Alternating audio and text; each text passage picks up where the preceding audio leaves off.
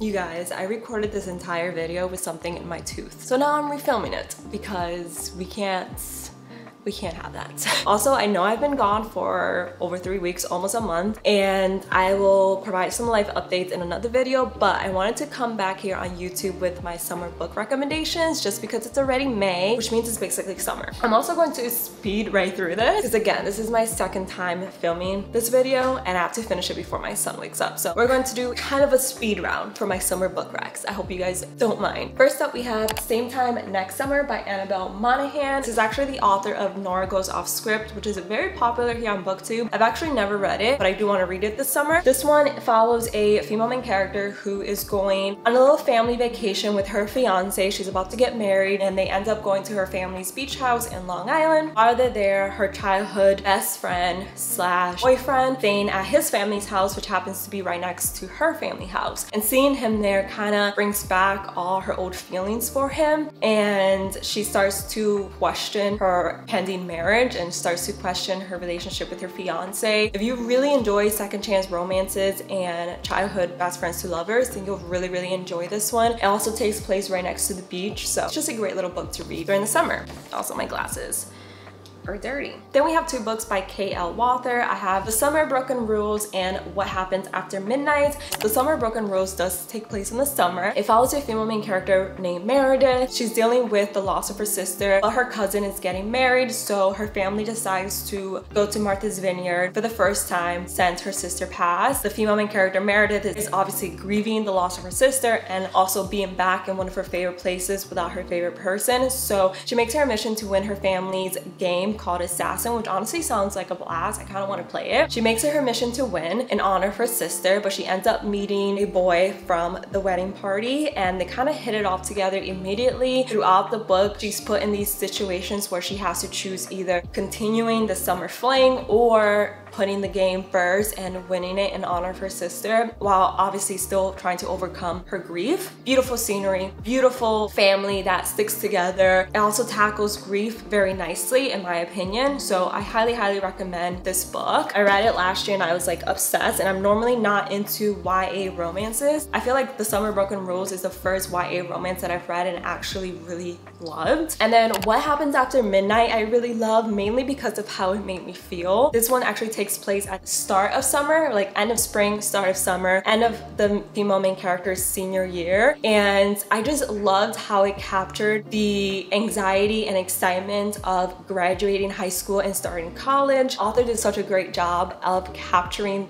those feelings and it just took me back to when I was a senior in high school. Follows a female main character, Lily, I believe, yeah, Lily Hopper, who has always been a goody two-shoes. She's never gotten in trouble and she wants to end off her senior year by doing something fun and exciting and breaking the rules a bit. She actually gets selected to be part of the senior year's school prank. The person executing the senior prank is actually her ex-boyfriend. They end up spending a whole night together executing the senior prank and through them spending time together, they they start to remember what their relationship was like. But throughout the book, you see them avoiding the topic of why they broke up. So it is a second chance romance. I loved all the characters. I love the side characters. The friend group was so funny. I kind of want books just based on the side characters because they just have so much chemistry. And again, I just loved how the book made me feel. It just took me back to high school and being excited that you're graduating, but being sad that you're saying goodbye to your friends. Everyone's going on their own path. You're excited to start college, but you're also very nervous nervous. It's just a very good book and it just took me back. So really loved it. And then we have books by the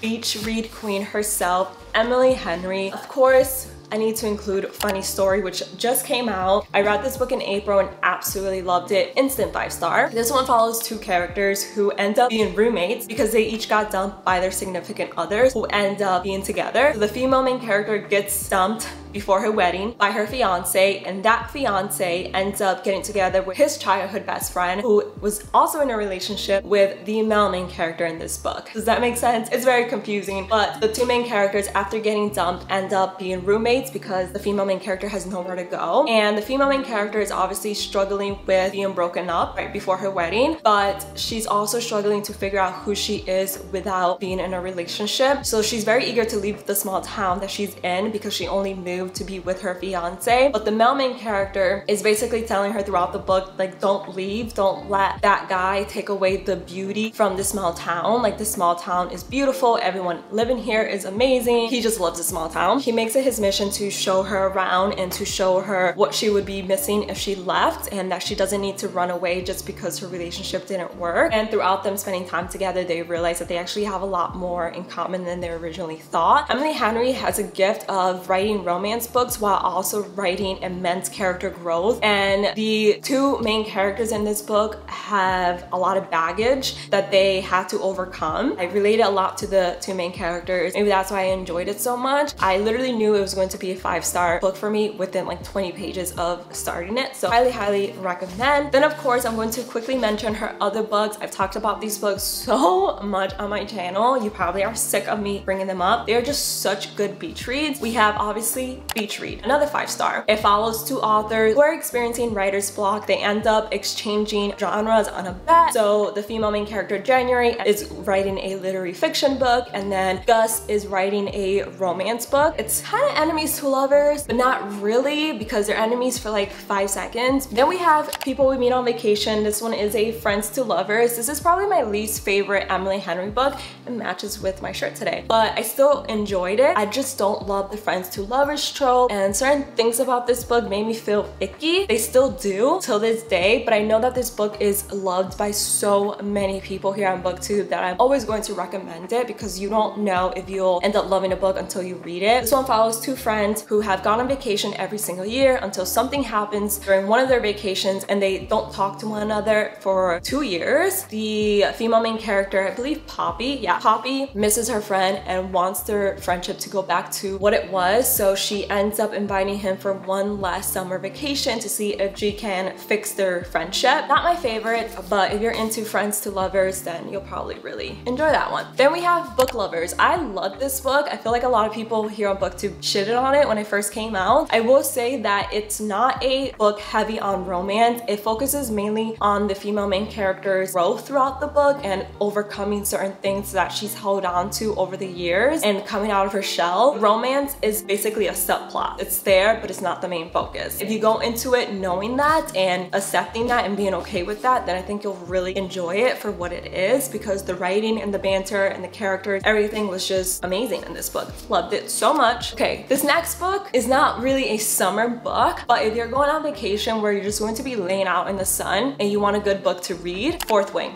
by Rebecca Yarros. I loved this book. I didn't love Iron Flame, but this one, absolutely amazing. Again, it's going to have you hooked from the very beginning. It's a adult fantasy romance. It follows two main characters, Xaden and Violet. It's enemies to lovers, and I truly do think it's true to the enemies to lovers trope because the two main characters have been raised to hate each other and they have legit reasons to hate one another. The way it's written, the action, the adventure, even though it's fantasy, it doesn't truly feel like a fantasy to me. Yes, there's dragons, yes, there's magical creatures and magical abilities, but throughout reading this book, it, it felt like I was reading a straight romance. I think it's more romantasy than fantasy, if I'm being honest, but I just loved it. The angst, the side characters, the main characters, the banter, even the spice was just perfectly executed. Again, if you want a book that you're just going to read in one sitting and going to be hooked throughout your summer vacation, this is the book. Then we have Bride by Ali Hazelwood. This one is another recent read for me and I loved it. It was a five star. It is a paranormal romance. It follows a vampire and a werewolf and it's a marriage of convenience book, which I love that trope. I don't know why, but arranged marriages, marriage of conveniences, just they just do it to me.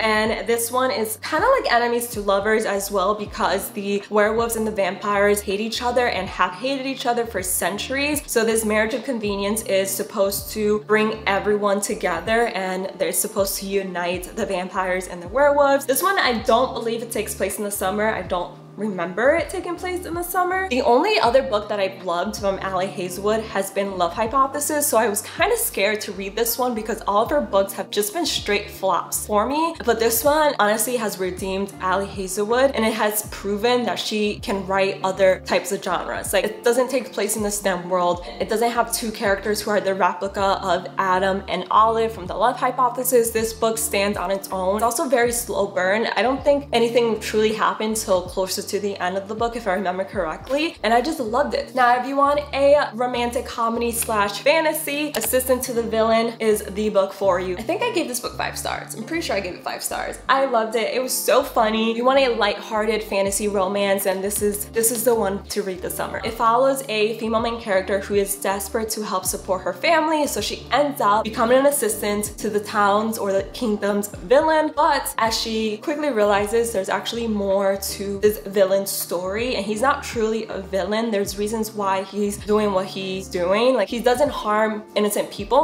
Everyone that he harms is for a reason. I didn't know that this was part of a series so when it ended on a cliffhanger I was like excuse me? I was just not prepared for it. The relationship between these two characters was just 10 out of 10. Perfect. It brings a smile to my face just thinking about it. The side characters were all so fun and there's even a little frog. I believe his name was Kingsley. He honestly stole the show as well because he was just so perfect, so cute and I want to know more of his story. Hopefully we get to see more of him and learn more about his story in the other books but I loved it, read it pretty quickly and I highly highly recommend. Then we have It Happened One Summer by Tessa Bailey. This one I read a few years ago and it's probably the only Tessa Bailey book that I've actually enjoyed. It does take place in the summer. It takes place in a very small fishing town. It follows a female main character who's rich as hell and her stepfather actually sends her to this fishing town because he's kind of had enough of her bad behavior. In this small fishing town, she meets this guy named Brendan who immediately writes her off like, oh, you're another rich girl, you haven't worked a day in your life. And they just don't get off on the right foot at all. Just the banter in this book was 10 out of 10.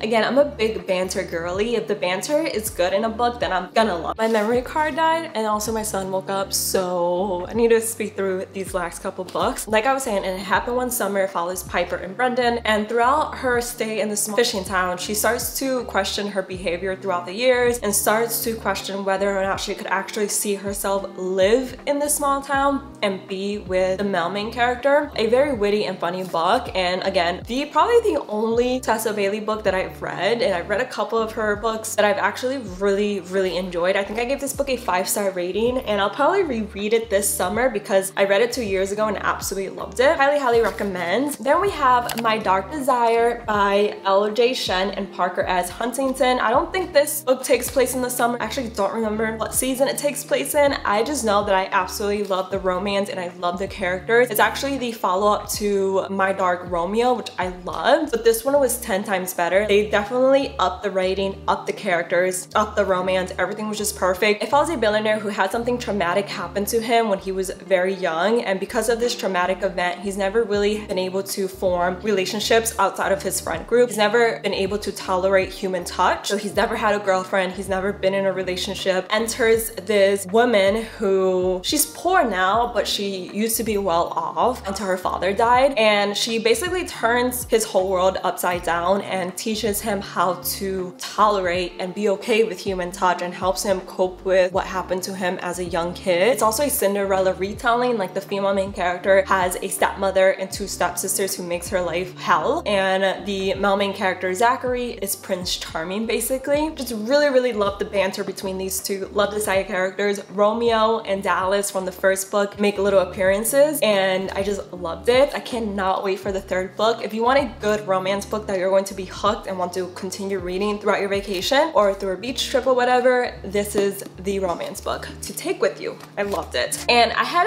a couple of more books that I wanted to recommend, but since my baby woke up, I'm probably going to have to film a part two to this video and film that at a later date. I really hope you guys walk away with at least one good book recommendation from this video that you love. Let me know in the comments below if you have any summer book recommendations for me, any books you think that I should read this summer. I would love to hear your book recommendations. I do need some. I really don't know what I want to read this summer aside from maybe two or three books that are coming out later this year. But yeah, really hope you guys enjoyed watching this video. If you did, don't forget to give it a big thumbs up. Don't forget to subscribe and I'll see you guys in the next one. Bye guys.